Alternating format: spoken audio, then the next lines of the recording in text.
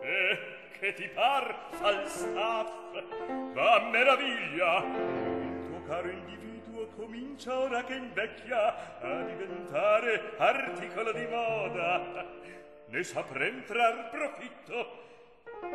Finor ti costò tanto. Oh, saria pure la festa bell'inver, sor ne potessi ritrarre il capital con gli interessi.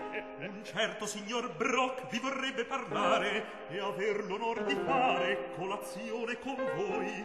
Brock? Non lo conosco. E far vorrebbe meco colazione, cioè cosa si intende? Due bottiglie d'oporto ha ordinato all'ostiere. Che venga pure, anzi mi fa piacere. Mrs. Ford e Mrs. Slender, ci siete? Eh, non vi lascio se prima non ho fatto un buon bottino. Signor, vi riverisco. A voi m'inchino. Se ardisco disturbarvi, compatite che devo servirvi bracca il mio nome voi già mi piacete e di meglio conoscervi non vi celo il desio degnate d'ascoltarmi Ogni riguardo con voi, signore, a superarmi induce un imperioso affetto. Un affetto imperioso? Che intendete? Spiegatevi. L'amore. L'amore vale a dir Conoscerete certa Madama Ford? Se la conosco, eh, ottimamente. Da qualche anno io l'amo, l'adoro, ella è crudel. Tutto finora per muover la pietà, tutto tentai, ma sempre in vano e ne dispero mai e a me venisse a dirlo. Ma da voi solo spero soccorso come? or voi che tutti chiaman vero prototipo e modello del buon, del bello e del gentil che onora un cavaliere. Avran certo ragione. Che arrogante. A voi certo resister non potrà la mia tiranna.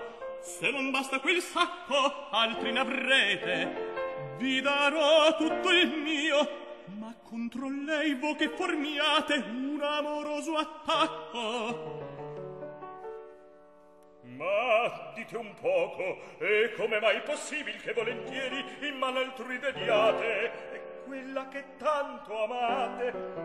Mi spiego, se in lei scopro una sol debolezza, una scappata, eccola disarmata, e senza far difesa, facile allor ne spereri la resa. E che ve ne par? Dirò, signor Brock mio carissimo, questo sacco a pigliar condicendo, e poi toccate questa mano per Mrs. Ford non penerete in vano fremo o oh bontà sappiate in confidenza che la vostra tiranna m'aspetta appunto a undicione undicione eh M'avete capito? Oh caro, oh amico, quanto mi consolate! Fidatevi a Falstaff, non dubitate!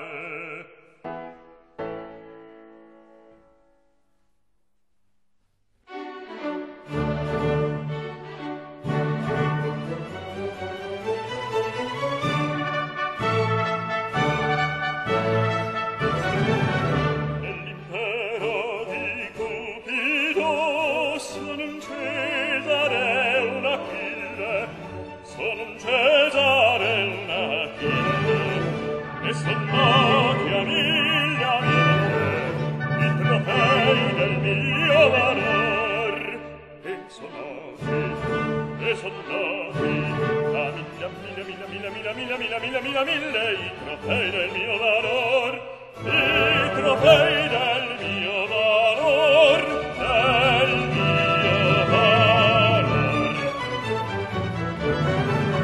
Questa piazza io me ne rido, mi si è resa discrezione, tanto al sesso il vanto impone, un eroe conquistatore bravo occuparla ma sia detto qui fra noi non mi preme conservarla.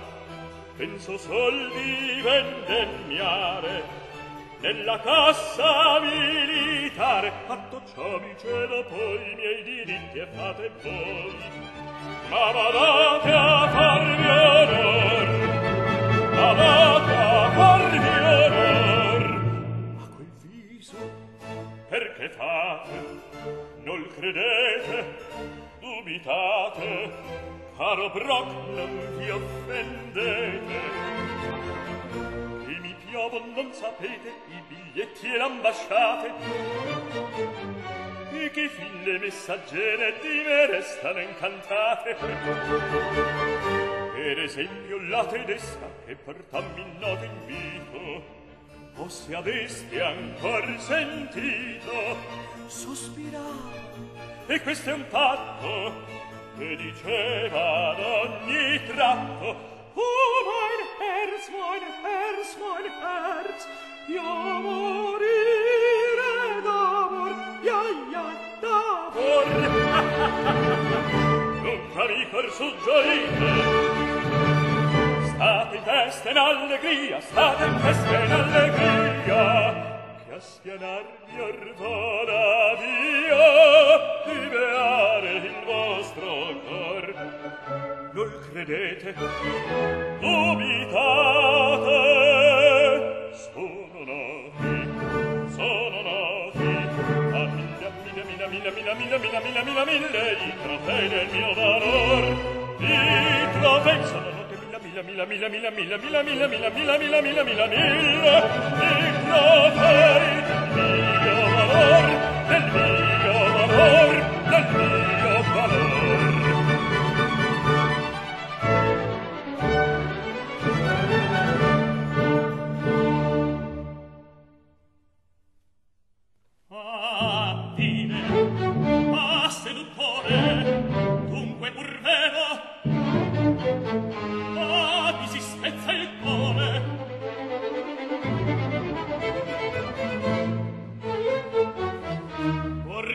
ch'io torto sia geloso.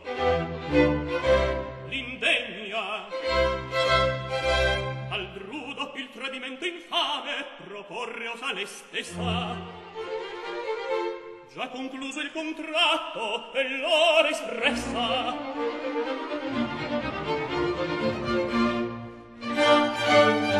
Oh, a tanto arrivar giammai creduta capace non l'avrei. Donna infedele, sorte troppo crudele, si lacera il mio onor, tradito son, si saccheggia il mio scrigno, e mentre i torti e i vituperi miei, colui che nell'autor mi vanta in faccia, un mien loda, cantar sì e taccia